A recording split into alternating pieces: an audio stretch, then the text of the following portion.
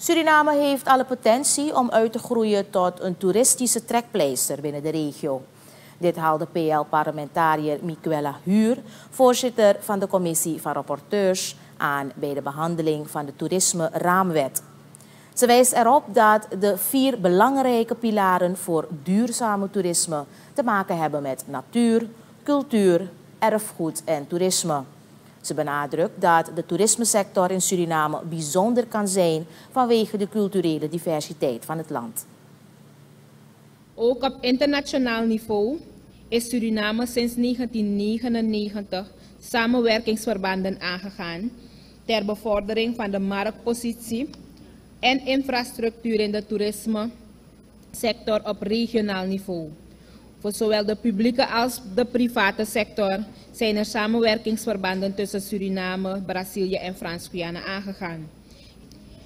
Bij het bevorderen van de economische groei, voorzitter, is het ook van belang dat evenredig aandacht wordt besteed aan het respecteren en beschermen van de rechten van de inheemse en Maronbevolking, het milieu en de bestaande structuren waarbij gebruik gemaakt wordt van het zogenaamd um, community-based tourism model, zoals opgenomen in artikel 6 van de wet.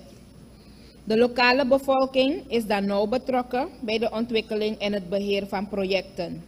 Het geeft de bevolking grotere controlemogelijkheden en inspraak en hiermee samenhangend meer rechtstreekse zeggenschap over werkgelegenheid en de inkomsten uit de toerismesector. Huur geeft verder aan dat ook de toerismesector in Suriname heeft geleden onder de gevolgen van de COVID-19-pandemie. Als wij de sector willen behouden, zal er gericht beleid gevoerd moeten worden om deze weer overeind te helpen en de nodige stimulans te geven.